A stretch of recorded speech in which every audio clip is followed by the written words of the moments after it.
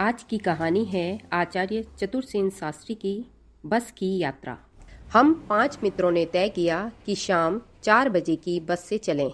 पन्ना से इसी कंपनी की बस सतना के लिए घंटे भर बाद मिलती है, जो जबलपुर की ट्रेन मिला देती है। सुबह घर पहुँच जाएँगे। हम में से दो को सुबह काम पर हाजिर होना था, इसलिए वापसी का यही रास्ता अपनाना ज़रूरी था। लोगों ने सलाह दी कि समझदार आदमी इस शाम वाली बस से सफ़र नहीं करते। क्या रास्ते में डाकू मिलते हैं?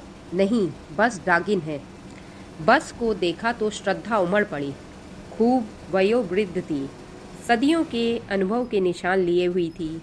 लोग इसीलिए इससे सफ़र नहीं करना चाहते थे कि वृद्धावस्था में इसे कष्ट होगा। यह बस पूजा के योग्य थी, उस पर सवार कैसे हुआ जा सकता है? बस कंपनी के एक हिस्सेदार भी उसी बस से जा रहे थे। हमने उनसे पूछा, यह बस चलती भी है? वह बोले, चलती क्यों नहीं है जी? अभी चलेगी। हमने कहा, वही तो हम देखना चाहते हैं। आप अपने आप चलती है यह? हाँ जी, और कैसे चलेगी? गजब हो गया। ऐसी बस अपने आप चलती है?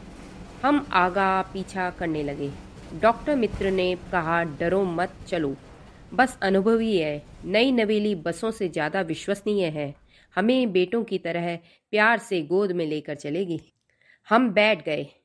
जो छोड़ने आए थे, वे इस तरह देख रहे थे जैसे अंतिम विदा दे रहे हों।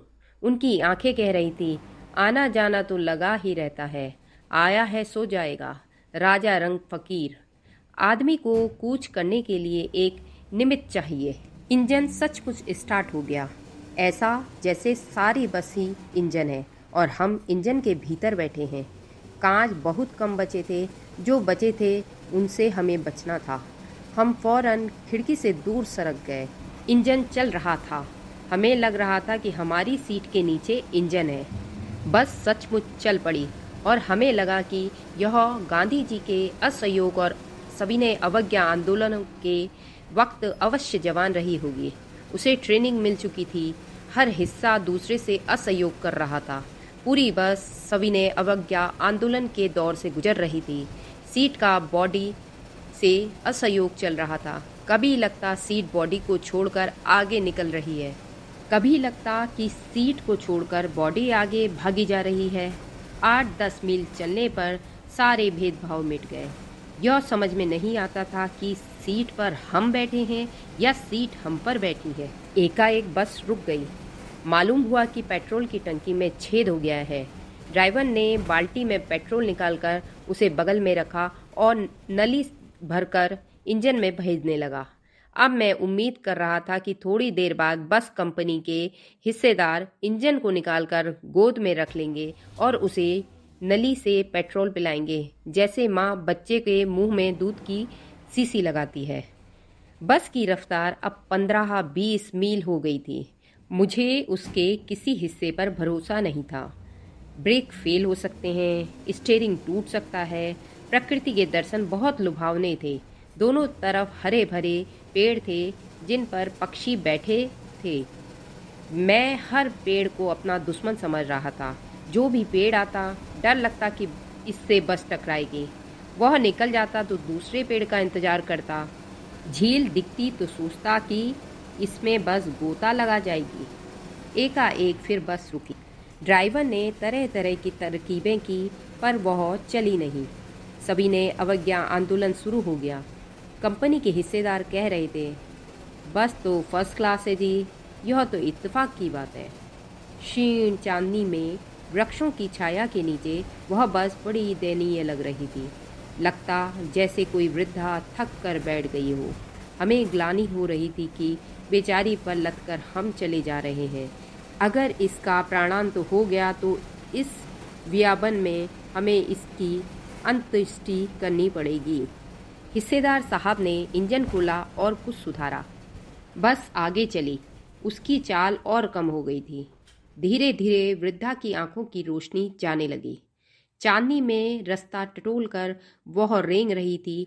आगे या पीछे से कोई गाड़ी आती दिखती तो वह वह एकदम किनारे खड़ी हो जाती और कहती, निकल जाओ बेटी, अपनी तो वह उम्र ही नहीं रही। एक पुलिया के ऊपर पहुँचे ही थे कि एक टायर फिस करके बैठ गया। वह बहुत ज़ोर से हिलकर थम गई। अगर स्पीड में होती तो उछल कर नाले में गिर जाती। मैंने उस कंपनी के हिस्सेदार की तरफ़ पहली बार श्रद्धा भाव से देखा।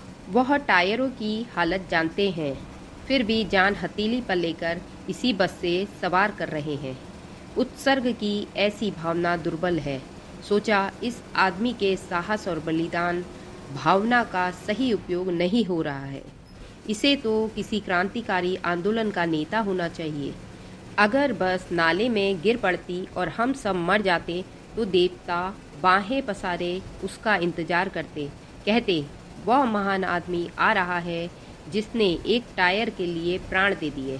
मर गया, पर टायर नहीं बदला। दूसरा घिसा टायर लगाकर बस फिर चली। अब हमने वक्त पर पन्ना पहुँचने की उम्मीद छोड़ दी थी।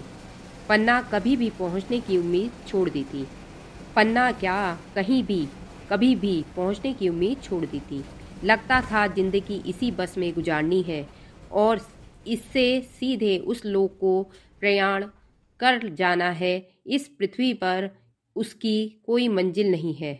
हमारी बेताबी तनाव खत्म हो गया। हम बड़े इत्मीनान से घर की तरफ़ बैठ गए। चिंता जाती रही, हँसी मज़ाक चालू हो गया। अगर आपको कहानी अच्छी लगी तो प्लीज़ लाइक एंड सब्सक्राइब कीजिए।